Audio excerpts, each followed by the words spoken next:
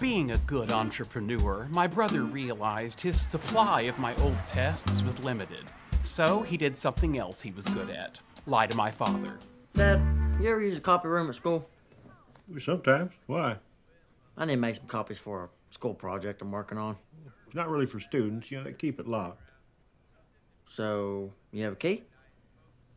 I'm not giving you my key. Why not? Because I know you and therefore don't trust you. I told you. It's for school. Great. Well, bring them by my office tomorrow and I'll make copies. Never mind.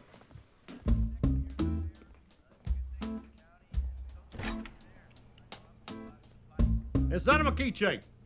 Dang it.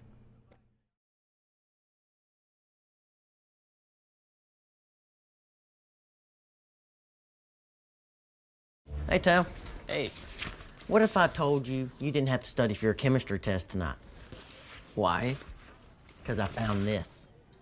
Cool. But how do you know we're gonna get the same test? I checked. We've been taking the same ones all year.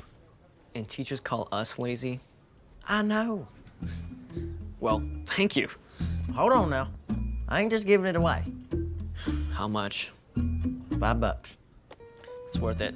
If I get another B, my mom will kill me. Hey, I don't just sell tests. I bring families together.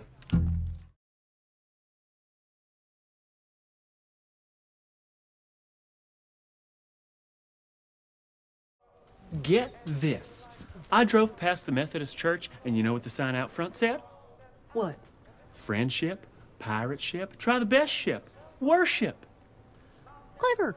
That was our sign last year. I wrote that. Isn't the most important thing that it might get more people to go to church?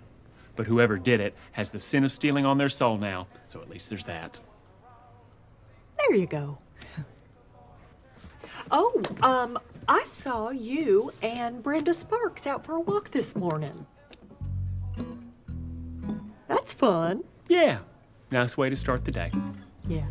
Um, I'd go with George, but he's a gym teacher, and as a group, they're not much for walking. Well, you keep asking, maybe he'll come around. Good idea. Thank you. It's not just witty church signs up here.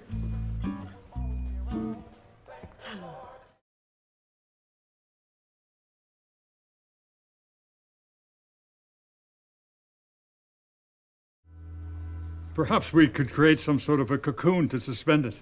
Out of wire? Or nylon, but I wouldn't know how to weave it around a sphere. I'm not a genius, but it sounds to me like what y'all are talking about is uh, crochet. I suppose we are. I mean, because with crochet, you can make all kinds of shapes. Intriguing. Hell, I even crocheted a cover for Jolene. I'm sorry? Oh, that's my bowling ball. She likes to name inanimate objects. It's odd. Or whimsically charming. Connie, would you help us detect solar neutrinos? Really? You you you want me to be a part of your science thing? Indeed.